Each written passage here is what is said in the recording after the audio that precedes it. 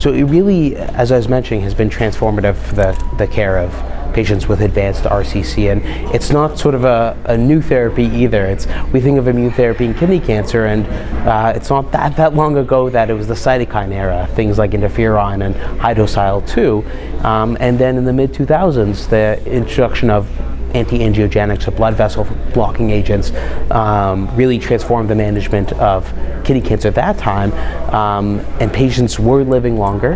Um, and what we've seen more recently is with the introduction of immune checkpoint blockade, not just by itself, but often in combination with other drugs, um, has really led to dramatic responses in a number of patients. I think what's most exciting is it's not only that more patients are responding and more patients are living longer, that's uh, tremendously important, but that we're seeing hopefully starting to see at least a tail of the curve, meaning that some of these patients really do seem like they have long-term or durable responses.